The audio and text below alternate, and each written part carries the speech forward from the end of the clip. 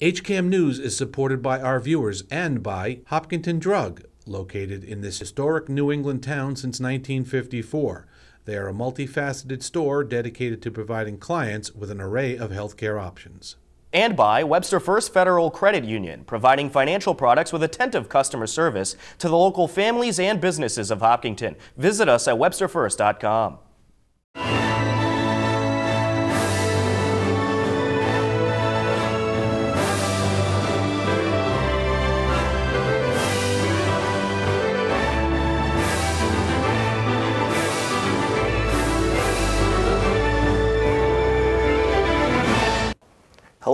and welcome to HCAM News. Tom Nappy at the anchor desk to fill you in with what's happening in Hopkinton.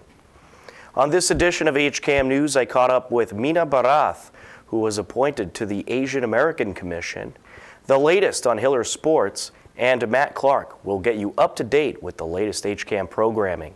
But first, here are some happenings in town you should know about.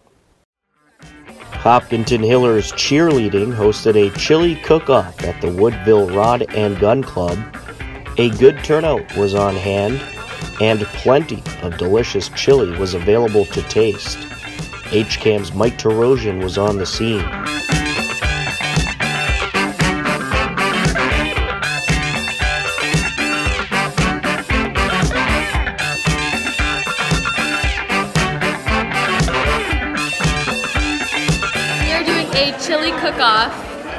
A cheerleading fundraiser. All right, and uh, what are you raising funds for? We are raising funds for the team in general as a whole, for choreography, team apparel, all that fun stuff. Uh, we have seven participants and entries in our chili cook-off. And, uh, and are they uh, doing a, uh, is there a prize for the winner? First prize is $200, second place is 100 and third place is $50. My dad's in the contest, and he's gonna win. All right, and uh, anyone you want to thank uh, for, for this? Um, the local supporters of Hopkinton and all of the local businesses that supported and donated to our uh, raffle baskets, and the Rod and Gun Club for providing the space, and all of the cheer parents and team for volunteering today. All right, who do you think's going to win today? My dad, my dad, my dad Glenn is chili. He's an amazing cook. Love him. Had his chili before. Best chili I've ever eaten.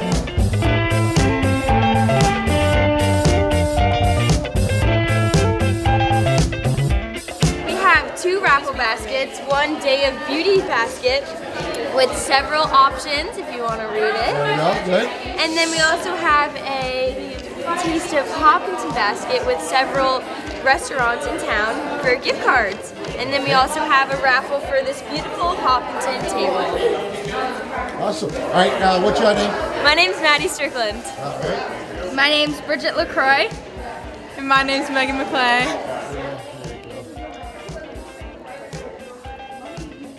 All right, so Pat, uh, what are you doing here today? Uh, participating in the uh, chili cook-off for the uh, cheerleaders. Yeah, and you're representing the department. or Fire? Department, yep. Right, so, Hopkinton Fire Department bought all the ingredients. I put it together, and here we are. all right, so uh, tell me about your chili. Well, it is a uh, beer braised beef chili with bacon. It's got a couple different types of beef. It's got some uh, cube chuck, and it's also got uh, pulled flat iron, and of course, bacon. Bacon goes in everything. Excellent. It's got a heat, but it's a manageable heat. And what is uh, what is your uh, secret to a good chili? Not necessarily a ingredient, but what's your secret to make, what, what makes a good chili? Just let it uh, simmer together and get all the flavors mixed together. Betcha, yeah. Oh, baby. Yeah, really great with the avocado. My daughter. Smells good, Yeah, Glenn. this is my daughter and my stepdaughter. uh, they're both cheerleaders for Hopkinton High School, and we're making chili today. Uh, try to take home the first prize. And, uh, what, what kind of chili did you make? I just made regular beef chili with uh, peppers. Uh, it's kind of sweet, not too hot. So it's a little, it's a little hot, a little sweet, you know, just and, uh, right. what, what's your secret to making a good chili? Good cilantro, fresh cilantro. That's the ticket.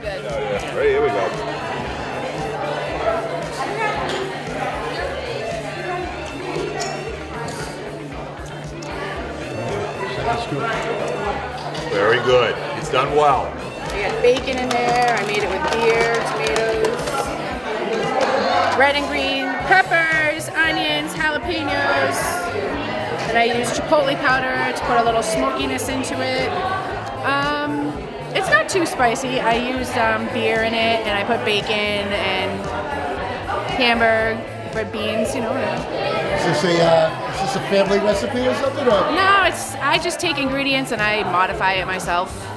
So I just get a basic one in my head, and then I just add and subtract. My like I took out the cayenne and I added more jalapenos because I don't want to make it too spicy. And And what's your secret to a good chili? just time. You gotta let it sit. Everything's gotta meld together very nicely. I didn't have time. I was gonna do it overnight, but I didn't have time to do it last night. But Oh, so that looks like mine. Five pounds of bison in there. This is triple B chili. Bison, bacon, and beer. And a lot of peppers too, but that didn't start with a P or a B, so. Is this a uh, famous recipe of yours or a family thing? Or? Uh, I make it all the time, but this one I actually Googled. I wanted something different, so I got a few ideas off the internet. Okay. And uh, what what is your secret to a good chili? Um, a lot of peppers and slow cooking. It's all natural too, so gluten free. It's a nice, good, thick chili. Oh yeah, that is.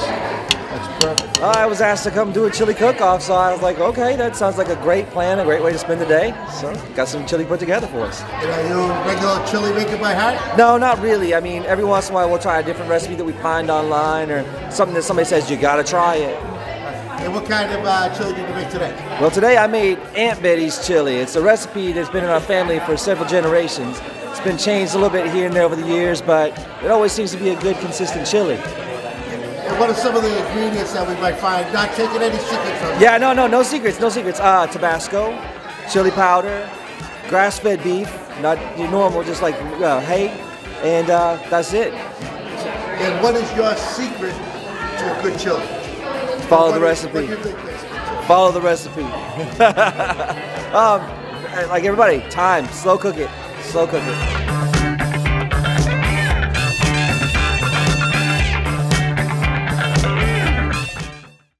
Hopkinton resident Mina Barath, who is a school committee member and takes part in a number of community programs, recently was appointed by Senator Karen Spilka to the State Asian American Commission. I recently caught up with Mina about the appointment. Tom Nappy here with Mina Barath. Mina, you were recently at the State House and you got appointed to the Asian American Commission. Uh, can you talk about what the Asian American Commission is all about? Sure. Thank you for having me, Tom. Um, this is a pleasure always to be with HCAM. Uh, the Asian American Commission has been in place for about 12 years, and uh, the work of the Commission is to advocate for Asian Americans in the Commonwealth. Um, Asian Americans are the fastest growing minority uh, in the Commonwealth as well as the nation overall. So it's about understanding some of the issues that they have, also their contributions to the community. Um, so that's the primary work of the commission. And I understand you got appointed as the commissioner of the commission. So could you talk about what some of your responsibilities will be? Um, I guess it's a 15 to 20 member board, and uh, you know there are five appointing authorities. I was appointed by Senate President Karen Spilka, and uh, I'm one of the commissioners. We have a chair, Mr. Prahlad, and uh, we have a vice chair, Kim Trong, and uh, I will be working as part of the overall commission. And each one of us can choose to work on some of the subcommittees. And uh, you know, I've just started.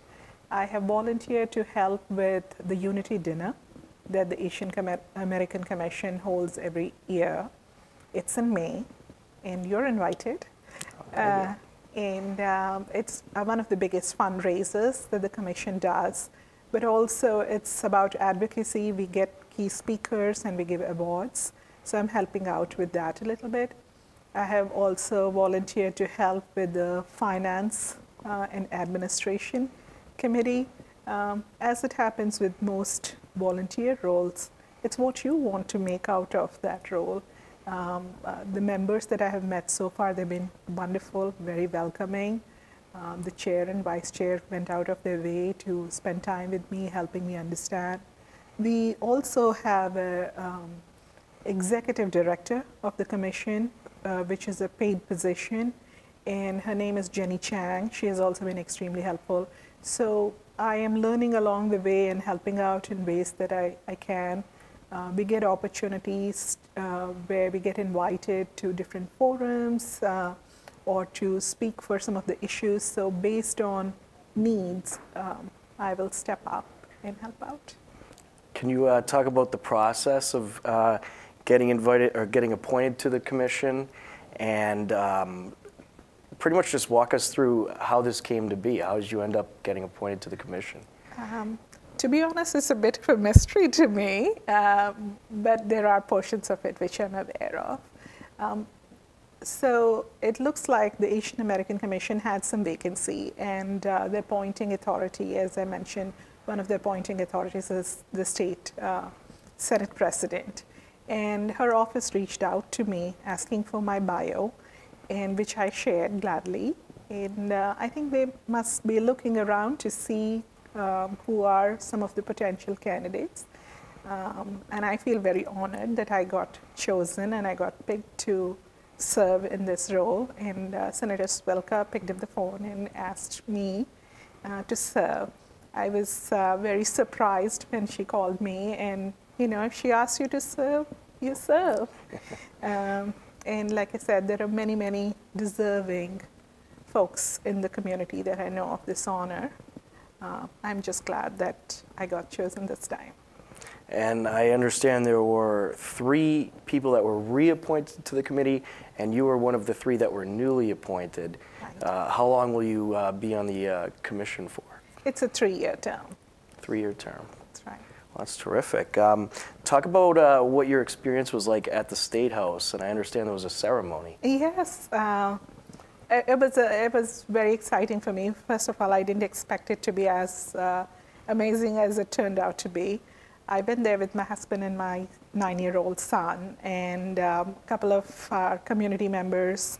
Uh, Charu Smita Ram, she does a lot of work in the community. She had come all the way from Lowell, and uh, Ravi Dasari, and he got uh, Jignesh. Uh, so there was a little bit of a representation from the community that we went there and I was sworn in uh, by State Treasurer Deborah Goldberg, along with all the other commissioners. There was quite, uh, uh, you know, it was quite a ceremony, and it was very emotional for me. I am emotional by nature, and uh, you know, for me, where I come from, you know, I grew up in India, and uh, I've been here in the States for 16 years. This is quite a journey. I never expected such a day in my life and um, so it was it was it was quite something. And uh, Senate President Spilka made the time to join. Um, her regional director Pooja Mehta, she made the time, and they were all there, and uh, it was extremely meaningful to me. And to be taking oath, uh, it meant a lot to me.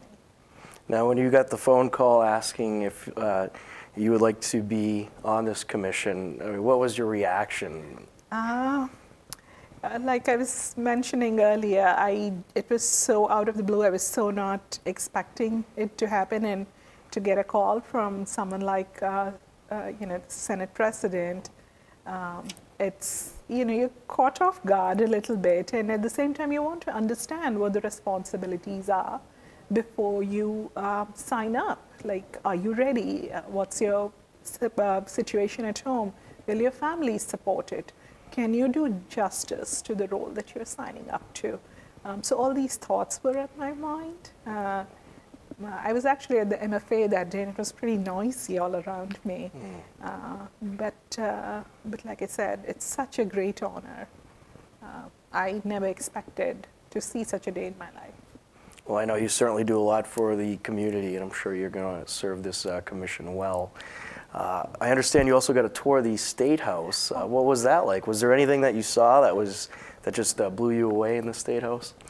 Um, actually, there were many, many things. I've been to the State House once before, uh, but this was a personal tour by the Senate President, and uh, I was very excited for my son too. He's nine years old. Uh, you know, he has many interests, uh, but this was me having that tour along with my family and seeing my son also getting that exposure. That was quite amazing. And um, just every step of the way, there is so much history in that building, and to be able to experience that, um, that was quite something. Something that struck out for me, I mean, of course, all the railings, all the artwork, and the new um, uh, Senate, um, it was outstanding. But the one that struck out to me was uh, a table that was made by Paul Revere. Wow. Uh, that uh, was quite amazing to be able to see that. That's cool stuff. Uh, well, Mina, I know you serve the Hopkinton community well, and I know you'll serve the uh, Asian American Commission well. Uh, congratulations, and thank you so much for joining us. Thank you, Tom. Thank you for having me. HCAM programming is supported by our viewers, thank you, and by Golden Pond Assisted Living, honoring resident choice, dignity, and independence. Our health and wellness focus keeps residents active. Golden Pond, state of the art senior housing and healthcare services. So, when we first decided to go ahead with the fostering, um, we spoke at length to one of the behavioural specialists to essentially find a dog that would fit in with our lifestyle and that we could truly help. He needs to be in a home where he can just have some love and some confidence installed in him. The first time that Arnold, like I say, pricked his ears and actually came to us and wagged his tail um, was incredible. It really melted my heart to think that he had become that comfortable with us and, you know, opened his heart up to us. Fostering a dog doesn't mean that you have to give up all of your life commitments. It is something yeah. that can fit around your schedule. I knew it would be incredible to foster a dog and to see them go home for the first time. But actually knowing how much help that you are giving these dogs has been, it has been life changing. Please visit baypathhumane.org to join our foster family. Welcome back to HCAM News. The high school winter sports season is more than halfway through, and a number of Hiller teams are eyeing a playoff spot. Here's the latest in Hiller sports. This past Tuesday, Hopkinton girls and boys basketball took on Ashland. In the girls' game, it was a battle right down to the end.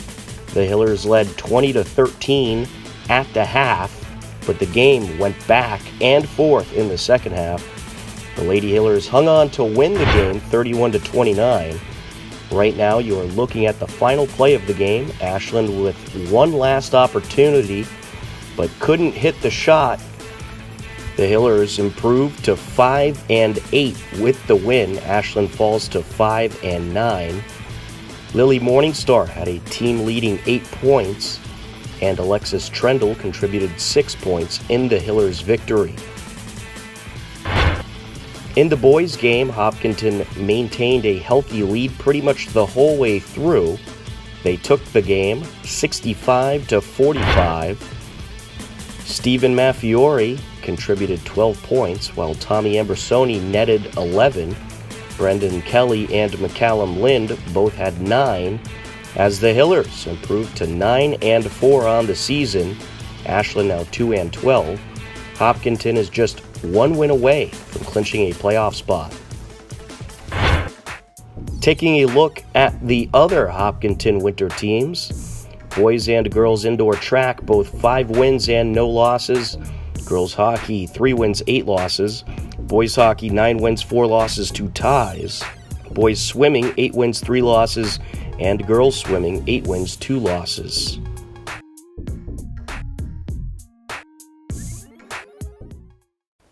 A whole lot of programming is coming up on the HCAM channels. Standing by to tell you all about it is Matt Clark with our HCAM Insider.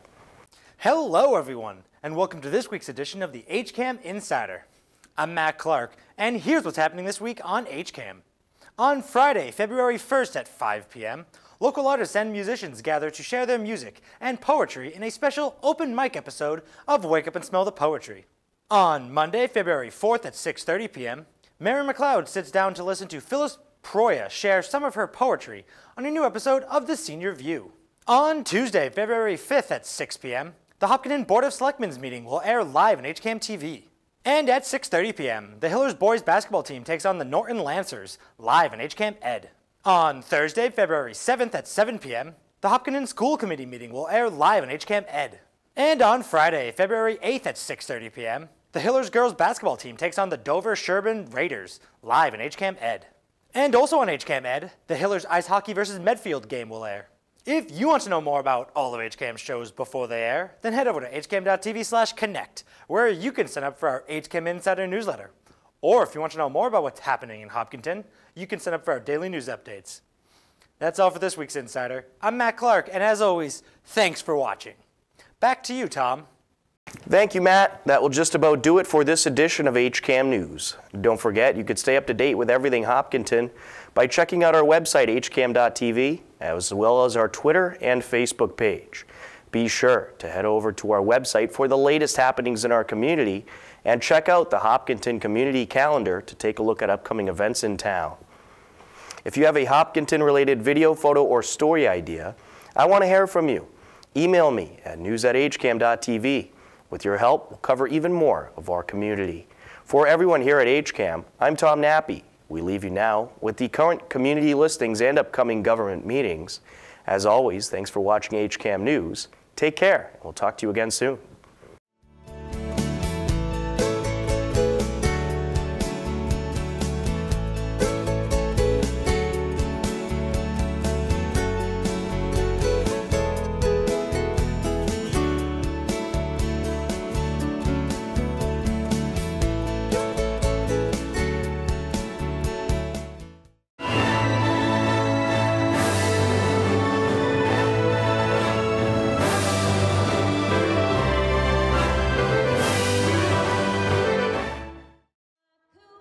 The annual Martin Luther King Junior Day events took place at Hopkinton Middle School this past Monday. Despite very cold weather, many volunteers attended to help Hopkinton organizations and various other great causes. So we have National Honor Society who's doing collection and coloring books for the Respite Center. Um, we have bags for veterans being made. We have cancer bags being made for cancer patients. We are collecting for Marathon School hat, mittens, snow pants. Hopkins School, we are collecting zip binders. Um, what other service project? We have um, color a placemat that will go to the surrounding assisted living homes. Um, and so they will get those served with their meals and uh, some with uh, meals for whales as well. So lots of different kinds of variety of things going on. We have some church groups here as well that are participating. I know one is collecting sneakers for Project Just Because. Um, I think the other one is doing the cancer bags. And despite the very cold weather outside, a great turnout today. Uh, could you just talk about the turnout and how things have gone so far? Yeah, so it's going amazing so far. Um, I am very excited to see the turnout because I did have some concerns about the weather, but you can't take Hopkinton down. So we have uh, so many students that are here helping today. We're starting to see a lot of community come in and get involved. Um, they, everyone enjoyed the storyteller. She delayed a little bit for us this morning to allow the community to get in. So it's been a great morning so far. We're making like Valentine's Day cards for like the veterans in Hopkinton that are like Yeah, we're just Yeah. uh, veterans that are overseas, and we're gonna send them Valentine's Day cards so Yeah. that they won't be that lonely during this Valentine's Day season, and just bring a little bit of joy into their world. So yeah. Very nice. And are you all in the uh, Girl Scouts? Yeah. Yeah. And uh, what troop are you from? Um, we're Girl Scout Troop 65040. Shoes?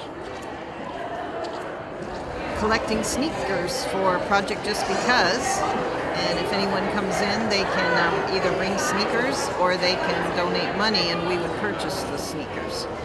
Terrific. And um, for those that don't know, could you maybe talk a little bit about what Project Just Because is? Project Just Because is a um, place in Hopkinton that um, helps people that either have a tragedy happen, like for a fire or something like that, or they help the less fortunate. They get blankets and sneakers and toys at Christmas time for the kids.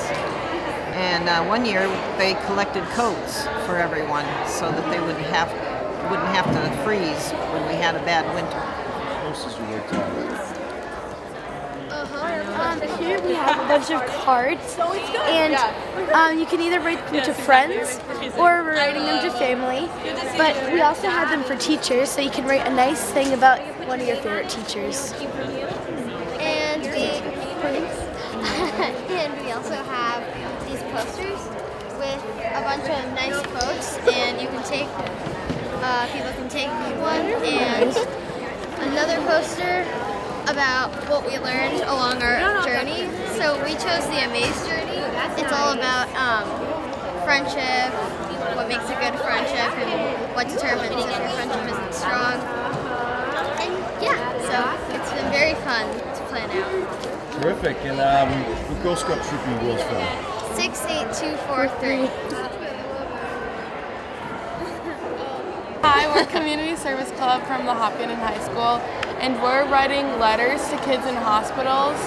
So we put out some guidelines for people, but basically the letters just say encouraging messages, trying not to focus on their illness, just more positive thoughts, um, and just sending good messages to them. What else is on the dudes? Um, I'm a senior at Hopkinton High School, um, and I'm in the National Honor Society here. Terrific. And what do you got going on over here at this table? So today, um, for MLK Day, is one of our big volunteering events. Uh, we've collected lots of donations, um, whether it's toiletries or other supplies for the respite center here in town. Um, and then with all the volunteers that have shown up today, uh, we've made coloring books um, and cards for um, kids and adults at Milford Regional Hospital. So right now, we're working on some cards. Uh, we're drawing pictures in them and uh, just wishing them a happy day. Today we are painting the rooms. And and apparently we love painting these rooms because we get to enhance our creativity. Thank you for letting us know. Terrific. And um, what made you want to paint the rooms today? Because this room is like kind of like a jail room. So some people wanted to keep it as a very pretty place, like butterflies and quotes. So I helped paint some of these. And some people, some people did the "You Are Enough," and some some people. This is the second layer of "Be a Pineapple." yes, stand tall, wear a crown, and be sweet and inside. We're making um, bags and cards for um, patients with cancer to sort of brighten their day a little bit. Terrific. And are, are you a volunteer? Or are you with the organization? Um, just a volunteer, just somebody who came to the